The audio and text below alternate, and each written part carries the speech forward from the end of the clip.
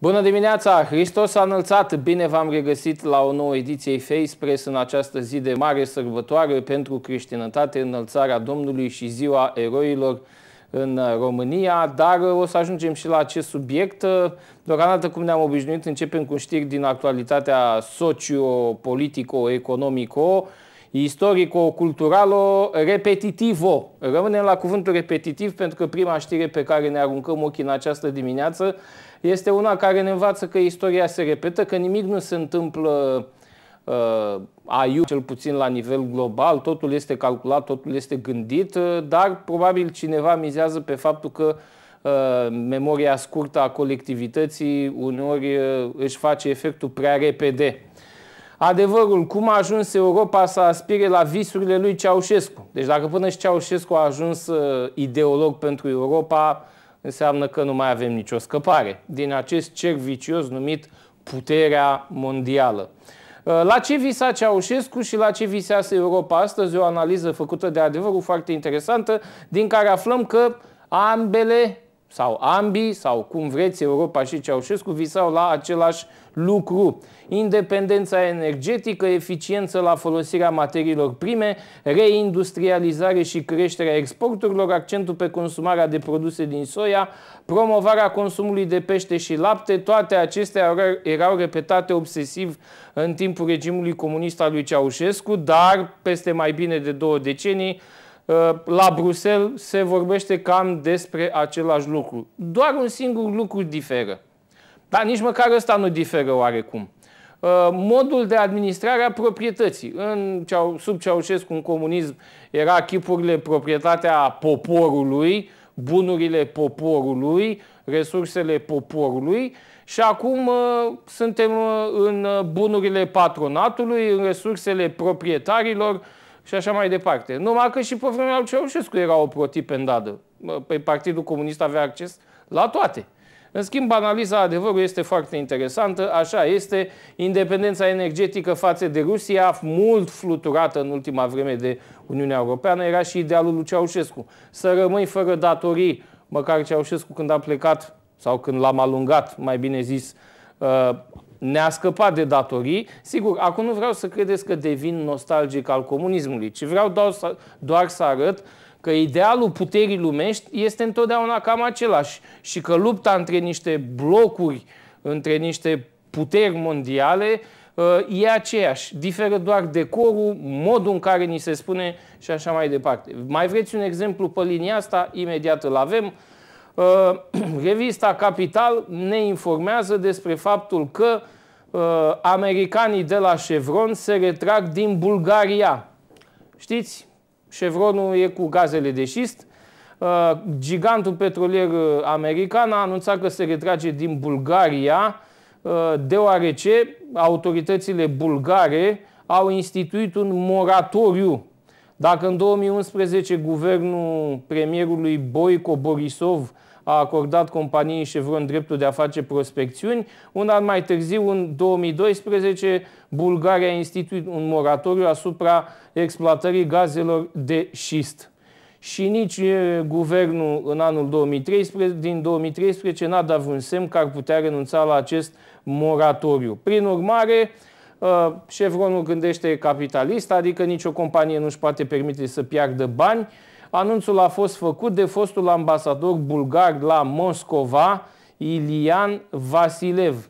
Acum, sigur, putem să suspectăm și o manevră rusească în sensul ăsta. Nimic nu ar fi nou sub soare. Influența Rusiei și influența Americii în zona României s-a tradus tot timpul prin două vestite ideologii. Uh, au venit rușii și așteptăm americanii. Acum suntem cu americanii și cu Europa, dar am fost și cu rușii, uite imagini document din 1948 găsite uh, într-o campanie a lui Digi24 despre resursele uh, subsolului, mai precis despre petrol, uh, cum ni se spunea că petrolul este cea mai mare bogăție naturală, că avem uh, bogate zăcăminte de petrol și că acest bun aparține oamenilor muncii care, foarte interesant o să vedeți, i-au alungat pe capitaliști. Și chestia asta începe astăzi să sune iarăși prin niște colțuri ale României. Să vedem materialul. Petrolul este cea mai mare bogăție națională. Regiunea subcarpatică a țării noastre e bogată în zăcăminte de petrol.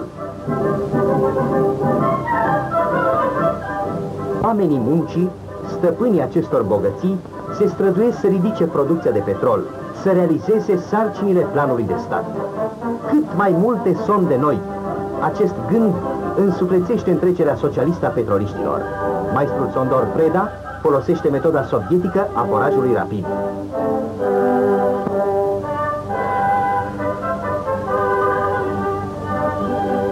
Granic de foraj fabricat în țară. Nu e mult de când în aceste locuri domneau ruinele. Poporul muncitor însă a refăcut instalațiile și i-a alungat pe capitaliștii străini care le stăpâneau. Poștii stăpânei petrolului românesc nu se astâmpără nici astăzi. Se joacă prea mult cu focul. Metoda rapidă a forajului sovietic, ce e asta? Interesant genul ăsta de a pune problema că și comuniștii și capitaliștii sunt hoți, că bunurile aparțin uh, oamenilor muncii. Nu e așa, dar tot timpul dictează alții pe bunuri.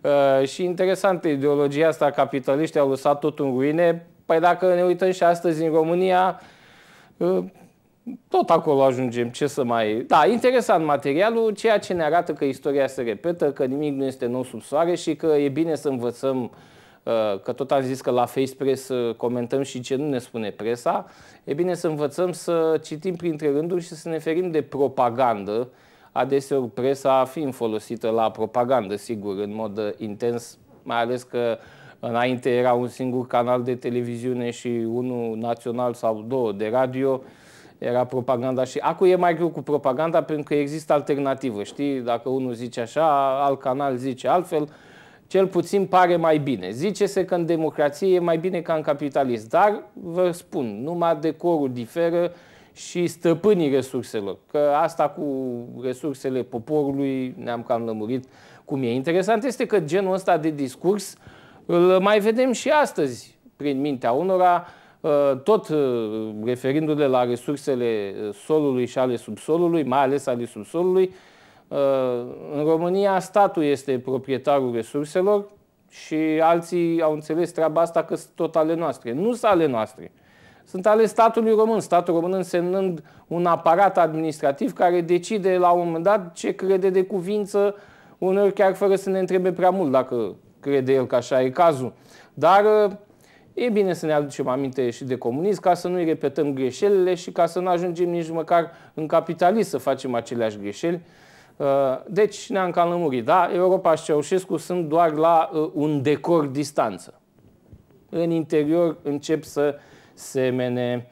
Mergem pe telegraf. Avem și noi aici uh, mica noastră polemică pe ceea ce numim port portul Constanța, pe Telegraf la prima pagină, unii îndeamnă la conlucrare și alții refuză comunicarea.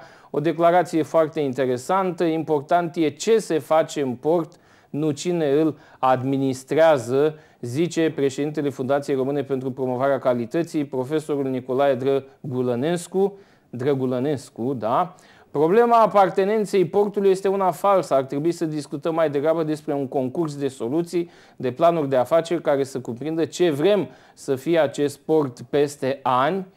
Ehm, da, problema ar trebui să fie cine și ce vrea să facă din acest port. Constanța este portul de acces al Uniunii Europene către partea asiatică. Eu m-aș baza, baza pe investitori din aceste zone să vină să ne ajute. Totul trebuie gândit pe termen mediu, dar, zice domn profesor, din păcate noi gândim pe termen scurt și nu ținem cont de interesele altora, ci doar de ale noastre, uh, referindu-se și la protestele astea. Înțeleg că astăzi vor fi niște proteste. Uh, unii spun că, de fapt, uh, portul vrea să fie acaparat de primăria Constanța, Uh, primăria Constanța, prin primarul Radu Mazăre, spune că, de fapt, la protestele astea, organizatorii or să aducă niște oameni din țară. Interesant treaba asta. Uh, Minticu am fost autorizat pentru 4.000 de persoane. Uh, sindicaliștii au anunțat participarea vreo 7.000 de persoane, iar primarul spune că Acum vor să impresioneze, vor aduce oameni de la Bârla, Târgoviște, București, năimiți să demonstreze pentru portul Constanța. Ce treabă au ei? Da, bine, acum să nu fim copii și să înțelegem că totuși portul este cunoscut dintotdeauna ca un generator de resurse financiare. Și atunci e normal când vrei să reechilibrezi, că mie așa mi se pare, că domnule, fiecare să beneficieze de portul ăsta și e normal când vrei să reașezi și să reechilibrezi resursele astea, cel de la care se ia să se plângă, nu zic, stai, domnule, ce faci pe ei de la mine? Și cel care vrea să iasă își susțină cauza, nu? E firesc până la urmă. Dar câtă vreme totul se întâmplă în limitele decenței și ale dialogului uh, și până la urmă ale bunelor intenții, pentru că s-au mai văzut și dispute de genul ăsta din care s-a ales praful de tot. Și n-aș vrea ca tocmai această, până la urmă, unică șansă a Constanței prin port uh, pe care avem să mai rezolvăm și noi câte ceva, să fie pierdută tot așa într-o ceartă politică inutilă. Dar sperăm că nu se va ajunge aici și până la urmă treburile se vor rezolva în mod uh, uman, inginerește și așa mai departe. Um, ce a mai zis și ministrul transporturilor Dan Șova, uh, a, o chestie legată de aeroporturi, că din 16 aeroporturi uh, câte are România, 3 sunt ale statului și restul de 13 sunt în proprietatea autorităților locale. Da, adică se poate, dar bine, ca să nu zică unii că, domnule, ce are treaba aeroportul cu portul, sunt porturi europene care au acest mod de administrație, nu? Și atunci, hai să o rezolvăm totuși omenește, inginerește. Mi-a plăcut declarația domnului profesor, trebuie să învățăm să gândim pe termen lung și mediu, că dacă nu gândim noi, fraților, să știți că alții gândesc în locul nostru. Integrările astea în Europa, înainte am fost în blocul sovietic, nu erau fără de importanță. Am vorbit și ieri. Europa s-a extins pentru nevoia de resurse și de oameni, pentru forță de muncă. Acum, sigur, chestia asta cumva deranjează prin emigrație și prin alte fenomenul șomajului și așa mai departe, dar asta este lumea în care trăim. Tot timpul va fi această dinamică. De asta, uh, direcția către sus e mai importantă decât pierderea în planul orizontal al cercurilor ăstora vicioase, ce facem, cum facem. Important e să avem niște ținte clare. Și de asta, din când în când, sărbătorile ne ajută. O să vorbim și de sărbătoare, că astăzi este sărbătoare, dar deocamdată uh, pauză de ceai, cafea sau apă, fiecare uh, ce dorește în această dimineață și revenim uh, în partea a doua a emisiunii.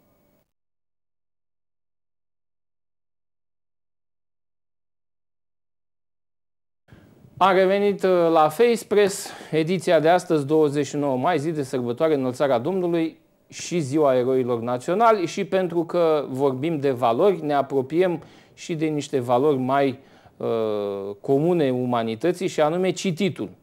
Niște sondaje prin România arătau un lucru foarte grav din punctul meu de vedere, faptul că jumătate dintre români, 50, peste 50% spunea sondajul, Uh, jumătate dintre români nu citesc. Ori asta este un lucru foarte grav, pentru că dacă nu citești, nu te educi. Dacă nu te educi, vei fi ca o frunză în bătaia vântului, făcând din tine alții ce vor ei. Cititul te luminează interior. Bine, acum contează și ce citești. Așa cum sunt cărți bune, sunt și cărți foarte proaste. Uh, sunt cărți extrem de uh, periculoase pentru spiritul uman. Dar din fericire, cărțile bune, care cât de cât te păstrează pe linia de plutire, să zicem așa, sunt mai multe decât cele care te nenorocesc. Sunt, de exemplu, cărți extremiste, cărți care îndeamnă la ură, la uh, discriminare, la tot felul de lucruri din astea rele, dar sunt și cărți bune. Cea mai bună carte, sigur, pe primul loc fiind Biblia, o colecție de cărți uh, scrisă din inspirație divină. Uh, de ce vorbim de cărți? Pentru că s-a deschis la uh, București târgul Bookfest, raiul iubitorilor de literatură. Pe principiul uh, de toate pentru toți. Cam așa funcționează târgul acesta. Avem un scurt material video, îl vedem și revenim. Peste 200 de titluri noi îi așteaptă pe vizitatori la Salonul Internațional de Carte de la București. Vor fi lansări în fiecare zi, iar cititorii vor avea ocazia să se întâlnească față în față cu scriitorii. Și ca să vă stârnim curiozitatea în materie de oferte de carte, vă spunem că în cadrul Bookfest este prezentat pentru prima dată și un volum dedicat întregii cariere a regelui fotbalului românesc, Gheorghe Hagi. Cartea este semnată Grigore Cartianu, iar dacă vă gândiți la oferte, vă spunem că sunt extrem de avantajoase. Avem, bineînțeles, reduceri, asta este și unul dintre scopuri, să avem de data aceasta și cărți la preț redus. Avem, în general, în stand reduceri de până la 75%. Vizitatorii Bookfest de anul acesta sunt asaltați de oferte pentru toate gusturile și pentru toate buzunarele. Pot pleca acasă cu o carte care costă un leu sau cu un volum care costă câteva sute de lei. Sunt o ofertă destul de tentantă. Acum rămâne să vedem unde ne oprim. Ați cumpărat ceva azi? Da, da. Câte cărți? Peste 10. Abia am venit, m-am oprit la standul cu Egipt și uh, Liban, văd că o să fie și ceva cu Polonia. O serie de evenimente menite să promoveze literatura poloneză au fost pregătite pentru cea de-a noua ediție a Salonului Internațional de Carte. Printre invitați se numără Danuta Valesa, autoarea volumului autobiografic Visuri și taine. Ea este soția fostului lider legendar al Solidarității și președinte al Poloniei, Le Valensa. Cartea sa a fost bestseller în 2011 în Polonia. O carte autobiografică pe care a numit-o Visuri și secrete, în care povestește despre prețul pentru care, pe, pe care a plătit ea și întreaga familia pentru ce a făcut soțul ei. Dintre cele peste 300 de evenimente care vor avea loc la Romexpo, multele vor fi dedicate copiilor și vor fi grupate sub titulatura Bookfest Junior. Vor fi organizate ateliere de lectură, teatru sau desen, dar și concursuri. Rolul acestora este să-i convingă pe copii că cel mai bun prieten poate fi o carte. Da, foarte frumos, interesant eveniment. Acum, sigur, să nu idealizăm, trebuie să fim foarte conștienți că în tot acest salon de carte, eu spun ceea ce n-a spus materialul, va fi și multă maculatură. La ora actuală, dorința asta de marketing trebuie să realizăm faptul că trăim într-o societate în care profitul pare a fi motorul și zeul acestei societăți E bine, mulți, uh, în dorința de a face profit, uh, scot tot felul de maculatură doar cu dorința de a o vinde. E la fel ca și titlurile din presă, când vezi tot felul de știri din astea bazaconice, doar din dorința de a atrage un click de mouse sau uh, uh, un leu pe tarabă ca să cumperi ziarul respectiv. Dar, dincolo de asta, sunt, sunt convins că sunt și cărți interesante, sunt convins că sunt și cărți care dezbat chestiuni profunde, Uh, totul este de alegere și mi-aduc aminte de Sfântul Vasile cel Mare, care avea o vorbă foarte interesantă, spunea tinerilor uh, că noi trebuie să fim această viață ca albina. Știi, albina uh, culege din floare în floare numai ceea ce e folositor. Sunt multe flori pe fața pământului, toate au atracțiile lor, specificitățile lor, dar albina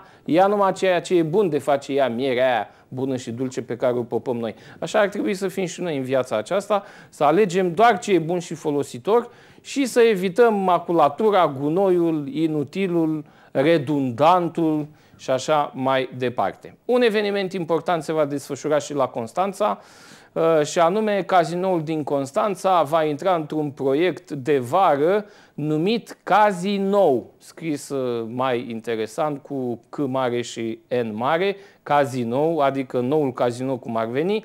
10 zile de fascinație, spune adevărul de Constanța, este vorba de faptul că uh, edificiul simbol al Constanței ar putea fi iarăși accesibil publicului în prima decadă a lunii august, între 1 și 10 august, când va fi deschis uh, pentru public și va avea un program cultural excepțional. Există o uh, asociație prin uh, România, echipa Calup, așa se cheamă, care ei au un plan să pună în valoare tot felul de construcții din acestea de renume și să le redea circuitului, să le aducă în atenția publică, pentru că nu e așa? Noi avem cu ce să ne mândrim până la urmă.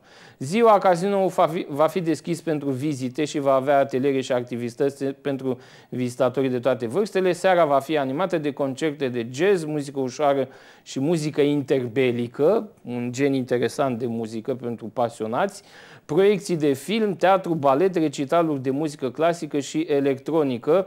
Vizitatorii vor putea parcurge spațiul interior al cazinoului, vor cunoaște istoria sa și poveștile țesute în jurul acestuia printr-o serie de man- maniere alternative, proiecții, instalații artistice, dar și materiale informative. Așa, poate se va reuși până la urmă. Sigur, e criză financiară, nu avem bani câți ne-am dori, uh, dar poate vom reuși să găsim în acest fel o cale și pentru casino. Uh, Cazi nou, 1-10 august 2014, așadar se va desfășura la Constanța. Vom mai vorbi probabil la acea vreme. Uh, echipa asta de la Calup a mai făcut activități doar în București. Prima lor ieșire din București este la Constanța. Încă o dată Constanța confirmă că este al doilea oraș al țării ca importanță și ca ce vreți dumneavoastră. Uh, și uh, ei, echipa aceasta de la Calup, au mai fost implicați în tot felul de proiecte. A mai fost un proiect pe la Mamaia Năvodare, am înțeles, și uh, vor să pună în valoare uh, clădiri și obiective importante ale țărișoare noastre dragi. și că veni vorba de țărișoara noastră dragă, să mergem și la zâmbet știri. Nu e așa că noi am promis că din când în când vom avea și zâmbet știri când presa ne furnizează. Prima zâmbet știre este vorba de taxa pe autostrăzi. E un subiect care din când în când revine, dar eu nu înțeleg cum ajung uneori autoritățile să-și dea cu stângul în dreptul. Chiar nu înțeleg. Uh, toată presa a, reluat, a preluat următoarea știre. Șoferii vor plăti taxă pe autostrăzile A1 și A2, uh, după care compania a anunțat, compania de drumuri și autostrăzi a zis că nu. Păi este sau nu este? A fi sau a nu fi? Aceasta e întrebarea. Până la urmă, chiar o să ajungem în România să ne gândim. De fapt, ideea e mai simplă. Ei ar băga taxă de autostrăzi. Oh, ar băga-o de mâine dacă s-ar putea. Dar s-ar enerva poporul și mai mult. Și asta se vede iarăși la capitalul electoral, așa că o vedem. Dar chiar așa, să nu știm bine chiar ce vrem. Uite, citesc pe adevărul. Directorul general al Companiei Naționale de Autostrăzi, nu-i dau numele că nu mă interesează persoana, mă interesează strict ce a zis omul respectiv. Acum se lucrează la infrastructura stațiilor de taxare, vom avea un parteneriat privat în activitatea de taxare. Cred că în toamnă va fi totul gata sau cel puțin la începutul anului viitor. Domnul director al CNADNR a zis treaba asta. După care, după care compania respectivă dă un comunicat de presă în care vine și contrazice ceea ce a spus directorul.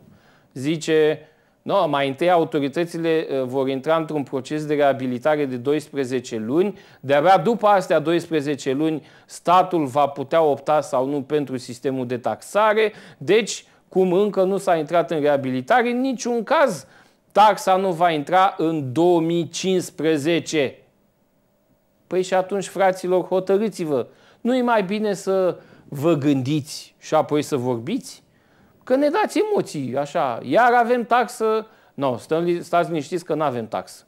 Interesant ce se întâmplă totuși în compania asta. Deci vine șeful CNA-DNR și zice la anul o să avem taxă, se lucrează la stații, nu știu ce, una alta. Și după aia vine tot compania, dă un comunicat de presă și zice nu e, domnule, nu e adevărat. Cum e? Cum e? Ce se întâmplă? Totuși, ce se întâmplă în, uh, în mă, eu înțeleg, într-o companie întotdeauna e greu comunicarea, dar asta înseamnă că ceva totuși nu e bine pus la punct acolo. Prea ne repezim să comunicăm. Uneori stau și mă întreb dacă nu cumva uh, anumite persoane, personalități din România n-au altă grijă decât de a fi tot timpul în atenția presei. Adică grija noastră cea mai Uh, mare este să tot dăm comunicate, să ieșim în presă. Văd uneori politicieni de dimineață până seara la televizor de parcă altă treabă nu au și cu munca mai puțin. Hai fraților, hai să facem treabă, țărișoara e plină de treabă, nu arde cămașa pe noi, cum să spune, și noi stăm de... E bine și cu presa, nu zic nu, că vorba aia are și presa rostul ei. Dar chiar așa, acum să zici, și la cât a venit uh, comunicatul diferență? Ia, stai așa. Deci șeful a fost prezent la o conferință și ulterior conferinței s-a emis comunicatul. Deci asta cât a putut să dureze? O zi, două, trei, nu știu, cât a putut să fie. A doua zâmbeștire ne vine, dacă cu autostrăzile am rezolvat-o, mergem și la cealaltă infrastructură importantă a României și anume calea ferată. Idei năstrușnice și la calea ferată avem. Compania de căi ferate, compania națională și guvernul vor să desfințeze în viitor între 25 și 40% din liniile ferate, deoarece nu mai sunt rentabile. Doamne, să recunoaștem, în vremea comunismului a fost un avânt tehnologic, s-au făcut linii ferate pe unde vrei și pe unde nu vrei. Era un mijloc de transport uh, optim la vremea aceea. Odată cu dezvoltarea industriei auto și a infrastructurii, au apărut autostrăzi, lumea s-a bucurat să-și cumpere mașină mică, nu prea s-a mai circulat cu trenul nici de navetiști. N-a prea mai fost problema că țara nu mai are așa multă industrie să tot faci naveta și atunci sigur că a, calea ferată a intrat în, într-un proces de a, durere economică. E firesc într-un fel, da? Deci reorganizăm ceea ce avem a, în administrare. Bun. Care sunt soluțiile? Soluțiile sunt următoarele. Prima ar fi uh, închirierea. Adică darea acestor linii de cale ferată care sunt neprofitabile uh, în administrare sau în concesionare privată. Domnule, dacă nu ne folosește, poate niște privați o găsi soluția. E o soluție. A doua, a doua soluție este uh, care este? Stai așa, să le luăm în ordine, că așa este frumos, știrea este de pe adevărul, uh, concentrarea pe o rețea feroviară mai restrânsă. Adică folosim cât ne trebuie. Și asta ar fi o soluție economică interesantă, da? Stimularea competitivității în atribuirea contractelor de servicii publice, aici e o chestie mai mult de hărțogăreală, introducerea indicatorilor de performanță în finanțarea serviciilor publice, bla bla bla bla, și asta e tot chestie de management și administrare, dar aici vine zâmbecirea, la ce s-a mai gândit calea ferată? S-a mai gândit așa. Uh, calea ferată să fie desființată, adică scoatem șinele și traversele și drumul va fi transformat în drum rutier sau pistă pentru bicicliști. Adică de ce nu? Nu? Nu avem drumuri în România. Nu are nimic. Scoatem calea ferată, facem niște drumuri, un drum pe care va, vor putea circula autobuze.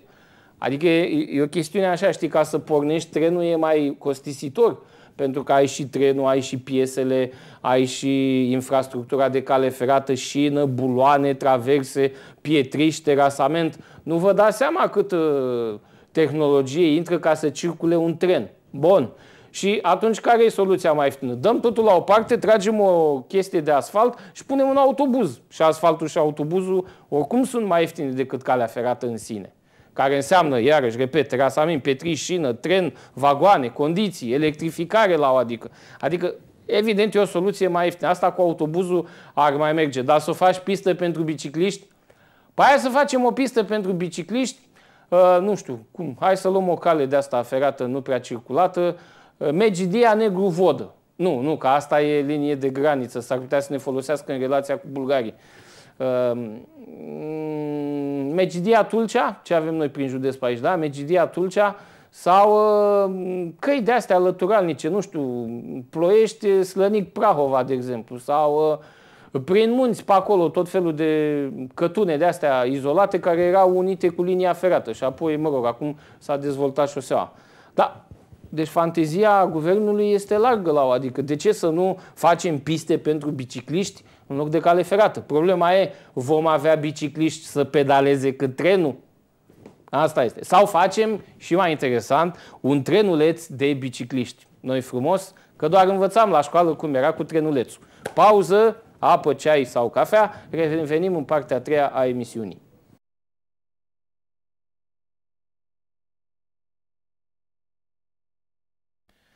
Gata și cu apa, ceaiul și cafeaua. Acum atenție maximă, partea a treia a Expressului, pentru că acum chiar vorbim de chestiuni foarte serioase. Astăzi este sărbătoare și le-am lăsat intenționat la urmă, pentru că uh, măcar să plecăm din această emisiune cu niște gânduri mai uh, sănătoase. Cineva mi-a tras atenția, a zis, domnule, păi nu e bine că lăsați astea mai profunde la sfârșit. Nu, nu, e mai bine, că după ce trece cotidianul, să rămânem cu ceva mai important. Astăzi este sărbătoare, ziua înălțării Domnului, sărbătoarea înălțării Domnului nostru Isus Hristos pentru creștini și în România ziua eroilor, sărbătoare națională a poporului român. Ambele sunt cu importanță deosebită și ne vom aduce aminte de ele. Avem un editorial pe adevărul despre înălțare și eroism, uh, dar mai înainte să consemnăm faptul că la Constanța se vor desfășura câteva evenimente uh, închinate uh, zilei eroilor. Militarii din forțele navale vor organiza astăzi, de exemplu, un ceremonial militar și religios în memoria contraamiralului Horia Măcelariu, care își, doamne, își doarme somnul de veci alături de domnitorul Mircea cel bătrân la mănăstirea Cozia. Garda de onoare va fi alcătuită din studenții Academiei Navale Mircea cel bătrân, spune Telegraful. Totodată, în Constanța vor avea loc tot felul de acțiuni la mormintele eroilor, în Constanța, dar nu numai în Constanța, și în Mangalia, și în Megidia, și în Tulcea. La Constanța festivitățile încep la ora 13 la Monumentul Eroilor Români, apoi la 13.40 la grupul funerar al eroilor Revoluției din decembrie 1989, cimitirul central. La ceremonie au parte reprezentanții ai Ministerului Apărării Naționale, ai autorităților publice locale, ai Bisericii Ortodoxe Române, ai Ligii Navale Române, veterani de război, ofițeri în rezervă și în retragere și la cercurile militare din Constanța, Mangalia, Tulcea și la Muzeul Marinii Române sunt organizate activități culturale dedicate acestei zile. Problema este dacă în contemporaneitatea noastră mai înțelegem ce este înălțarea și de ce se leagă înălțarea de ziua eroilor. Să le luăm puțin uh, inginerește. Ce este înălțarea? Înălțarea este ziua de sărbătoare în care ne aducem aminte de momentul biblic al înălțării la cer a Domnului nostru Isus Hristos. E un moment foarte important pentru că prin această înălțare, de fapt, noi, oamenii, uh, avem acces, pentru prima dată în istoria noastră a umanității, avem acces acolo unde n-am avut niciodată acces, uh, acest acces fiind dat de Hristos, care Dumnezeu fiind se face și om. Prin înălțare, Hristos înalță firea noastră umană de-a dreapta Tatălui, de-a dreapta lui Dumnezeu. Deci, practic, noi avem calea deschisă către Rai. Hristos, înălțându-se la Tatăl, ne trage și pe noi după El, cum El însuși o va spune. Este foarte important acest lucru, dar mai mult pentru cei care sunt preocupați de valorile spirituale. Pentru că, în rest, observ în societatea românească că suferim foarte mult de sindromul anti. Uitați-vă în jur. Începem să intrăm în epoca uh, zeului anti. Suntem anti orice. Hai să o luăm în politică, da? În politică, ca cu se întâmplă, parcă am văzut ieri pe toate știrile, eu nu prea comentez știri politice, dar nu pot să nu le observ. După ce s-a construit o alianță politică contra uh, lui Traian Băsescu, acum s-a desfințat și avem o alianță politică contra puterii, adică a PSD-ului. Uh, și în general în lumea politică trăim foarte mult din anti. Uitați-vă la discursurile politicienilor, sunt foarte mult concentrate pe anti. Ei vorbesc mai mult de adversarii lor, vorbesc mai mult de ce fac alții, niciodată de ce ar vrea ei să facă și care este uh, idealul lor politic. Poate pentru că nici nu l-au, mă gândesc. Unii, poate unii l-au, habar n-am. Dar cert este că atunci când mă uit la lumea politică românească, am foarte marea senzație că noi, de fapt, suntem chemați să ne exprimăm un vot anti. Tot timpul noi trebuie să votăm contra cuiva, ceea ce nu e sănătos. Acum să nu înțelegeți, eu nu sunt adeptul lui anti până la capăt, dar nici nu sunt adeptul dispariției lui anti. E vorba mai mult de un echilibru între cele două. Pentru că dacă stai numai anti, era o poveste în copilărie, fetița care l-a luat pe nu în brațe, dacă rămâi tot timpul anti, anti, anti, anti, încremenești în proiect. Și așa ajungem unde suntem noi de fapt. Ei își văd de treburile lor, își văd de declarațiile lor, de antiul lor și noi încremenim. Simțim că nu mai avem oxigen în țara asta. Îți vine să pleci la o, adică din țara asta. Foarte mulți o spun. Pentru că pare că totul este construit contra ta. Și e adevărat, când stai foarte mult în poziția asta de anti, ajungi să fii anti tu însuți. Devii propriul tău dușman. Mai vreți exemple? Mai avem.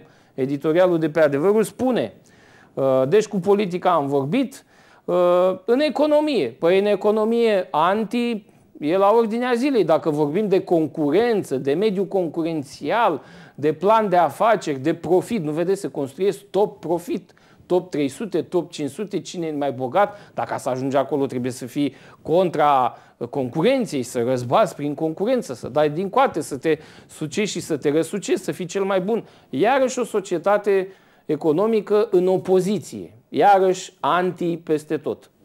Nu e bine nici în economie, pentru că și asta creează victime. Concurența, piața, managementul și marketingul sunt doar câteva concepte care au destrămat, de fapt, idealul armoniei sociale. De asta nu avem pace în societate. Pentru că trăim tot timpul în polemici, în tensiuni, în negații, în scandaluri, în certuri. Toată lumea are ceva cu toată lumea. Nu putem să trăim așa, ne îmbolnăvim. Și ideea este că mai găsim domenii. Educație. În educație avem o permanentă reformă, se tot reformează sistemul, se tot schimbă valorile și principii, procedurile și idealurile, ni se spun tot felul de lucruri uneori care se bat cap în cap, e drept, pleacă ai lor, vin ai noștri, schimbăm ce au zis ei la alții și tot așa, din, dar în realitate devine din ce în ce mai greu să definești ce trebuie să fie copilul când iese din școală. Pare uneori că, de fapt, copilul nici nu mai ținta educației. Educația se sufocă într-un maldăr de hârtii birocratice, de proceduri infernale și infinite care nu se mai termină și copilul pare că e din ce în ce mai mult al nimănui. Mai, mai repede ți-l duci la meditație, că așa mai învață ceva. Aud asta de la din ce în ce mai mulți părinți. Ceea ce nu mi se pare normal. Păi da, de ce plătim școala românească? Că tot spunea domnul ministru al educației acum câteva zile, l-am văzut, spunea că de fapt poporul român finanțează educația, nu sistemul în sine. Da, e frumos și generos gândul ăsta. Mi-a plăcut foarte mult declarația. La declarații suntem buni. Dar educația nu se face într-un sistem. Că nu se face așa liberă pe câmpii. De, totuși, e bine să punem și sistemul la punct uh, și cred că toate, poate, poate se va reuși treaba asta. Să vorbim mai departe de justiție, unde și aici se vorbește de antijustiție, de lipsa de justiție, de lipsa statului de drept, de faptul că justiția e folosită politic și așa mai departe. Să vorbim de presă, care nici asta măcar nu e neatinsă de sindromul anti. Sunt canale în România unde tot timpul se vorbește anti-cuiva sau se face propagandă la ceva. În rest nu afli nimic. În 15 minute, dacă te uiți la posturile de televiziune românești, te lămurești care e treaba cu postul respectiv. Că din 10 știri, 8 sunt anti zic de alții, dar în rest fenomenul se repetă. Nici religia nu e scutită de anti, că să mai vorbim și de ai noștri, nu? Că tot e o sărbătoare și vrem să învățăm semnificații religioase. Păi și în religie, idealul este înălțarea. O sărbătoare tocmai rolul ăsta are, să te oprească din uh, drumul ăsta cotidian care încerc așa închis și să te tragă în sus, să te desăvârșească, să te, să te cheme către un, desăvârșirea umanității, să fii și tu om cu om are. Sau sfânt, cum ne place nouă să spunem, că e un ideal frumos și mulți spune, aia rămâne un ideal. Asta că nu vrem noi să fim în sus, că ne place prea mult uh, marasmul ăsta în care ne învârtim. Dar și în religie avem anti. Avem o grămadă de culte creștine care sunt dezbinate și unele contra altora. Uh, de remarcat totuși uh, faptul că Papa Francisc și Patriarhul Bartolomeu I au semnat o declarație comună în care reiterează după mulți ani faptul că totuși trebuie să uh, conlucrăm mai mult la reunificarea bisericilor în sensul autentic, nu doar așa declarativ propagandistic, pentru că până la urmă Hristos este unul singur și biserica lui nu are voie să fie așa decimată. Da, și despre asta e de vorbit. În rest, Uh, avem, de exemplu, bloguri fals ortodoxe care tot vorbesc uh, mai mult anti decât pro. În loc să citești de iubire, de iertare, de valorile astea ale ortodoxiei, acolo găsești numai anti. Anti cu tare, anti cu tare, contra cu tare. Ăsta nu, ăsta e un fals ortodox, e o falsă ortodoxie. Hristos n-a venit să fie contra ceva. Hristos a venit să desăvârșească ceea ce a început crearea omului. Așa că dacă stăm prea mult în anti, rămânem, rămânem și ne vom bloca în anti. Vom fi opoziție în permanență. Vom ajunge să fim opozanții proprii noastre vieți. Păi asta e frumos, ne permitem să trăim așa tot timpul pe sistemul anti. Repet, nu zic că nu e bine să fii anti. Uite, de exemplu, e bine să fii anti-dictatură. E bine să fii anti-răutate. E bine să fii anti, uh, cum să zic eu, tot ce înseamnă uh, urăciune, tot ce înseamnă uh, decădere umană, antidecădere. E bine să fie asta, adică trebuie să ai și o poziție la rău, la degradare, la descompunere umană. Da, totuși trebuie să le folosim cu echilibru și anti și pro. Pentru că nici cu pro dus la exagerare, iarăși nu sunt de acord. Suntem numai pro-libertăți, libertate, libertate, libertate până unde? Păi libertate fără responsabilitate iarăși nu e bine. Că ajungem să ne rănim iarăși noi între noi. Nu putem să trăim liberi uh, și fără a fi responsabili. Nici asta nu se poate. Dar sigur că despre asta mai putem vorbi. Deocamdată să ne bucurăm și de sărbătoarea de astăzi, în măsura timpului disponibil să ne împlinim și rugăciunea către Hristos, să mulțumim lui Dumnezeu pentru că existăm și dincolo de toate acestea să ne aducem aminte că a fi creștin e lucru mare, iar pentru cei care nu sunt creștini, sigur, poarta le este oricând deschisă. Eu am găsit în creștinism calea către desăvârșire, încerc să o ofer și altora. Fiecare sărbătoare este un moment de uh, înălțare, să ne înălțăm și noi și bine ar fi ca în națiunea asta fiecare să încercăm să ne înălțăm duhovnicește ca să ne înălțăm apoi și social și economic și fără o înălțare duhovnicească, fără o înălțare morală, că se tot vorbește de criza morală pe toate drumurile, dar fără înălțarea asta morală nu există nicio altă înălțare. Există numai degradare. Să luăm aminte, vă mulțumesc pentru atenție, punem punct Face de astăzi și mâine vă aștept cu drag de la, de la ora 9 pe Neptun TV și Radio Dobrogea. Toate cele bune și închei cu creștinescul salut, care îl zicem acum până la sărbătoarea Rusalilor. Hristos s-a înălțat. Toate cele bune!